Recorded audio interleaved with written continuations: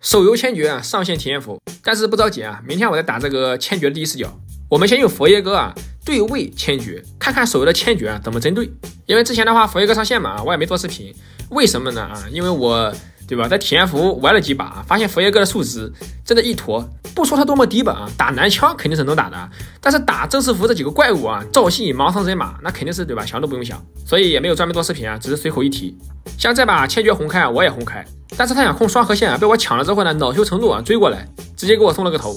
千珏那个英雄啊，他需要打这个标记啊，这个标记可以通过野怪啊以及这个手动锁定你们五个人，其中一个啊就会获得一层印记啊。这个印记标记你的时候呢，你会知道，并且呢，他能看到你的视野。所以当你在草丛里啊堆对面的时候，你突然发现他标记你了，那么你就走就可以了，他已经看到你了，并且啊，野怪的这个标记呢，在你的野区里，看我的小地图，F 四那里有一个红色的印记。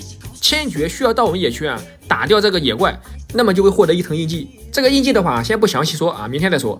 你就记住了啊，千珏的印记越高，他的伤害就越高，所以尽量避免啊，让他拿到印记。这里越塔我应该变身的啊，去偷他们的灵魂就能免伤。但是啊，第一次用这个佛爷哥实战，我是想着大招划出去的，但这个大招还差零点几秒。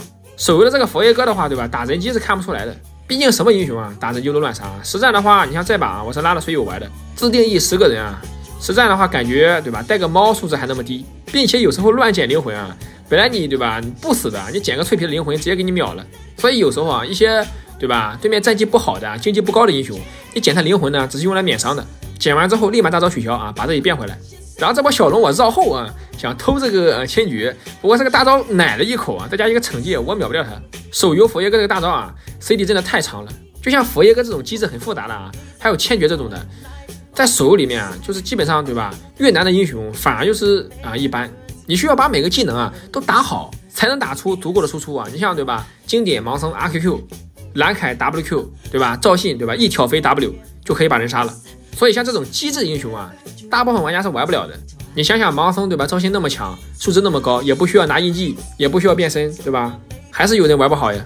你更别说对吧？像佛爷哥这种需要变身的，打团一乱啊，随便捡了个灵魂，突然发现这个技能不会用了啊，脑子一懵就完了。虽然说在体验服里面，千珏的数值，呃是要比这个佛爷哥要强一点的，但是到了正式服，你想想，好消息啊，对面野区有印记了；坏消息，对面打野是赵信和盲僧。低分段可以去冒险啊，高分段去冒险啊，死一次那就没了。并且手游地图小，你去反野的话，他一叫队友啊，直接就把你包了。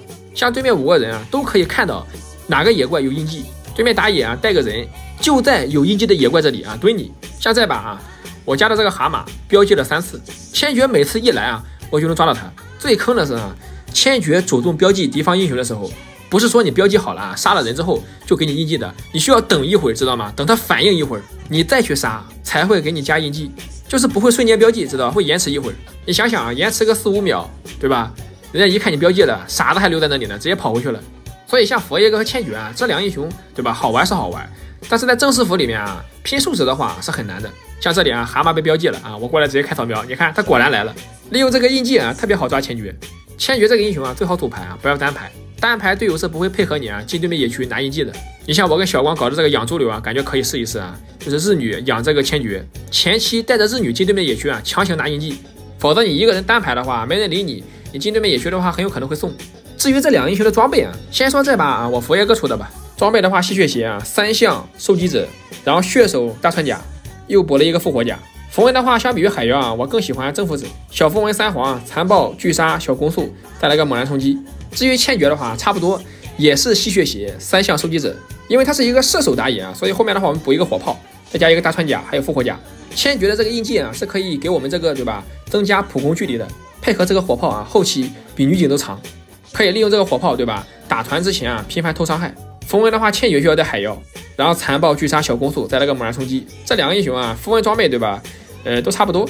虽然我很期待他们上正式服，但是按体验服目前这个强度来说，对吧？我也不去吹啊。千珏的话还可以，佛爷哥的话数值太低了，在正式服对吧？这个数值怪横行的版本啊，显然不够看。千珏可以啊，千珏这个英雄对吧？小袋专用，有经济拿到印记啊，再加上这个大招的保命，简直就是专属的粤菜英雄。当然，这把对面的千珏很执着，就是非得拿印记。其实你可以啊，在实战的时候，呃，可以，比如说啊，你标记对面中单，你反手抓下路，或者说啊，对面野区红 buff 被标记了，我们可以在中路呢露视野，假装往他红 buff 走，然后回头呢抓下路。对面打野一看，哎，红区红 buff 被标记了，你还往上面走，那你肯定是去拿印记了。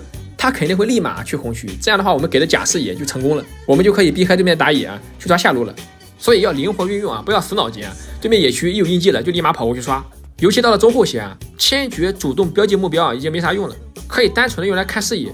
逆风的时候野区没有视野啊，对面可能打龙了，但是你又怕反蹲啊，不敢去。你又可以啊，标记对面打野，看对面到底是不是在打龙，还是在蹲你们。至于佛爷哥的玩法啊，呃，比较蠢。这个英雄，说实话啊，他这个在烟雾里面啊，W 不能隐身，并且手游地图小啊，英雄普遍跑得快。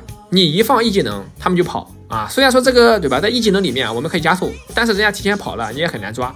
并且大招的距离呢很近，你追对面 AD 啊，他开个疾跑啊，走 A 你的话，你大招跳过去，他可以很轻松的，对吧？利用这个疾跑的移速，把你的大招拉开。所以想玩好佛爷哥很难，等郑师傅看看吧啊，会不会就是加强干嘛的？